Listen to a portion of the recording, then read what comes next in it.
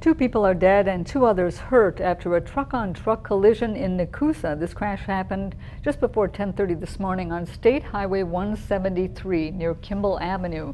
At the time, the Wood County Highway Department had been working on the road when a box truck traveling east apparently moved into oncoming traffic to try to avoid road crews. And that is where the driver hit a dump truck. Both drivers were killed.